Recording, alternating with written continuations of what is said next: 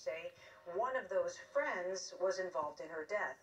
The medical examiner ruled she died from a broken neck and spinal cord injury. Crump promised to continue to pressure federal authorities to either prosecute the people responsible Yeah. for her death or extradite them to Mexico.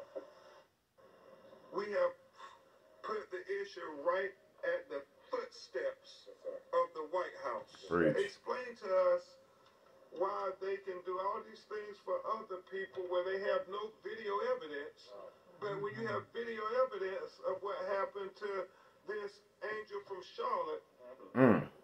you all are slow dragging. It don't make any sense to any of us. That's right. Crump says he hopes his legal team will be able to meet with White House officials after the 1st of April.